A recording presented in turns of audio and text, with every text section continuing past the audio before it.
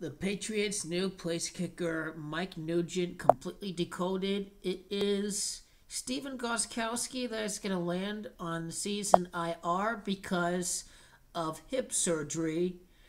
Mike Nugent replacing Stephen Gostkowski is sort of interesting when you break down the fact that he is an Ohio native Ohio might have been where football began.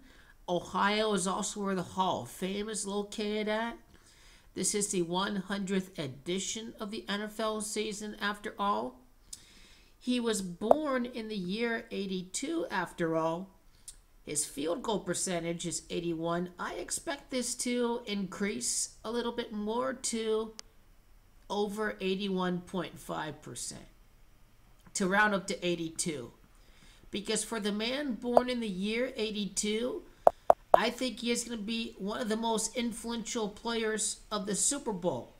I think he'll probably end up missing a game winning field goal in the Super Bowl, and I can probably break that down in, in another video. In fact, I'll probably break it down in this video. It's because Saints has Gematria of 82, but the original plan was always Patriots against the Saints because kicker Stephen Gostkowski was a Louisiana native. He was born over at Baton Rouge, Louisiana. Baton Rouge is the capital of Louisiana. Nonetheless, he is from the state of Louisiana, and I believe that very well the original script of the Super Bowl was to have the Louisiana native miss the game winning field goal. After all, we can pinpoint to Super Bowl 44 where uh, Peyton Manning, uh, born over at New Orleans, uh, son of the Hall of Fame quarterback of the New Orleans Saints, Archie Manning,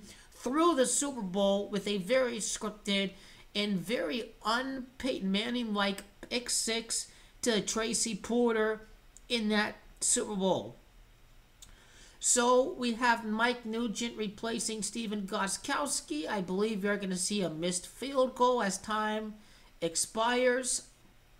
This is sort of like Antonio Brown being released, right? Did the Patriots need Antonio Brown? Did did did they need Stephen Gostkowski out there? Would he have beaten the Saints? So I think these are the surrounding riddles with what we could expect for this upcoming Super Bowl.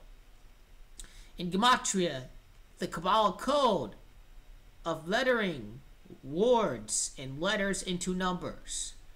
Here's why Gostkowski was the Patriots kicker in the first place, winning many Super Bowls with him. He, he won three Super Bowls with the Patriots.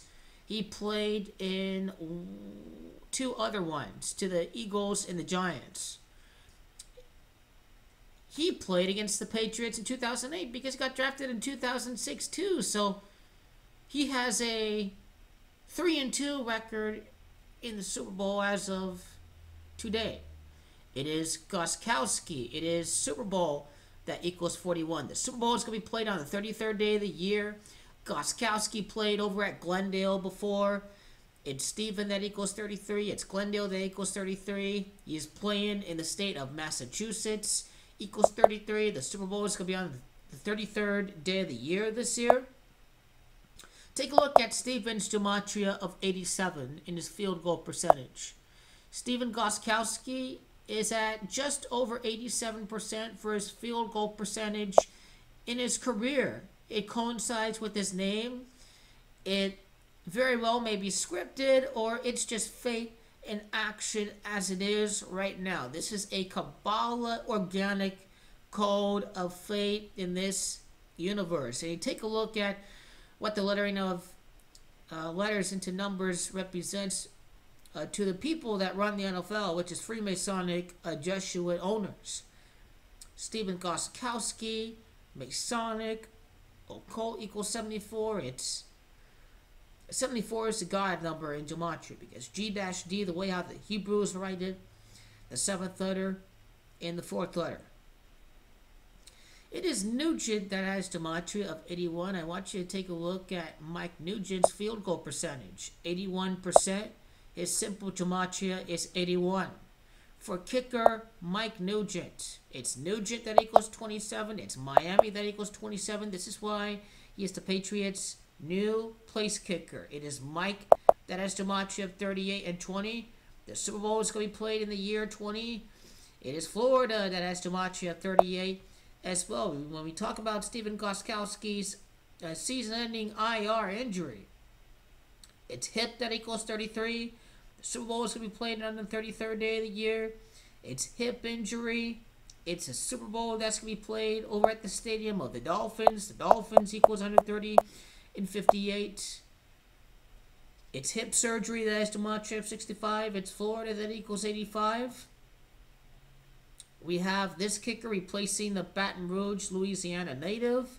Now I believe we may very well see a missed field goal with under a minute left for this Super Bowl this year.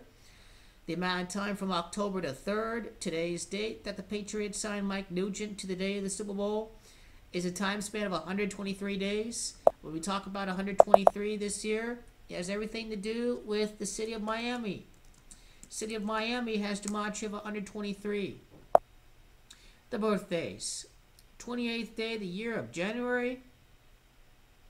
Five days from that time would be the day of the Super Bowl. It's not six there. And Mike Nugent's birthday is the third day of the second month.